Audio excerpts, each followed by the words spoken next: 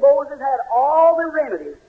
And when he was out there, think Moses had about two million people with him. He had little children.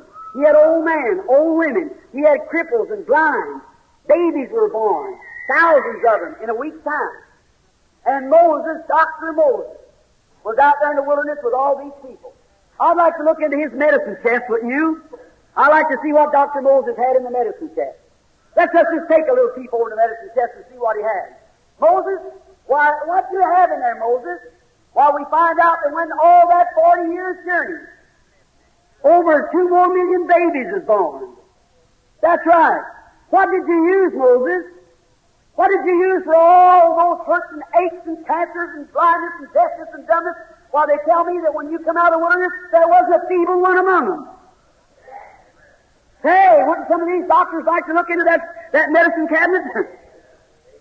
and another thing, Moses, what did you sprinkle on those people to even their clothes didn't wear out?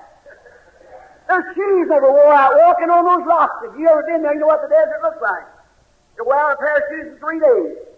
And they never even wore one speck of the leather off of them in 40 years. Moses, what was in your medicine chest?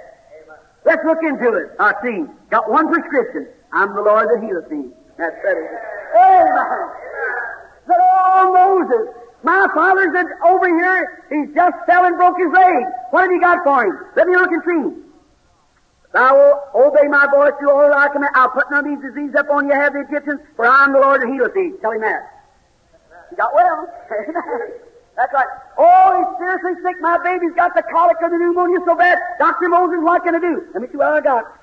I'm the Lord that healeth thee. that settles it. Amen. Away they went. That's right. Going on rejoicing. That's all he needed. I'm the Lord that healeth thee. Out of 600 and something definite promises of divine healing in the New Testament alone, and yet we question God tonight.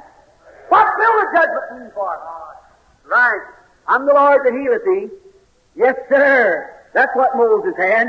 Dr. Moses had in his cedar and his other his medicine chest was this. I'm the Lord that healeth thee.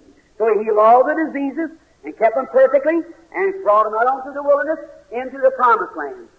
Oh my.